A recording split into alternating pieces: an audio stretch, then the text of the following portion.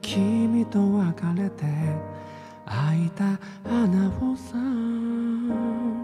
何で埋め合わせしたらいいんだろう。もう力尽きてしまいそうだよ。いつも気取ってばっかの俺にさすぐ見直した方がいいってこと。遠回しに届く君の言葉。軽んじた俺が悪いんだけど。ねえ頼み事してもいいかい？俺の過ち君は理解ができないって言うだろう。そうだろう。もう一度だけ話したい。